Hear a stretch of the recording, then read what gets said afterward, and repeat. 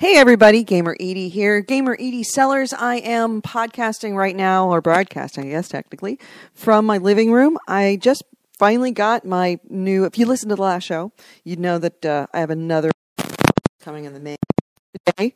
Just walked in the door and it was sitting there waiting for me. So I'm going to try it out.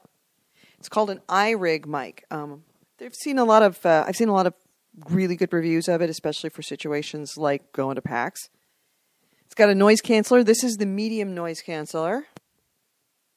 This is with no. Actually, I think this is with the least amount of noise canceling. I don't know. We'll find out when I hear it. And this is with the most, or maybe the opposite. Hard to tell.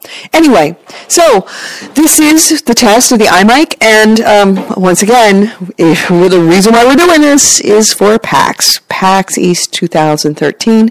Where I'm going to be leaving on Wednesday night, flying a nonstop with Nick DiNicola, my co-host, all the way to JFK on Wednesday night, then grabbing the first flight out from JFK to Boston uh, Wednesday, uh, Thursday morning. So it's going to be a long day for us, but we'll manage it.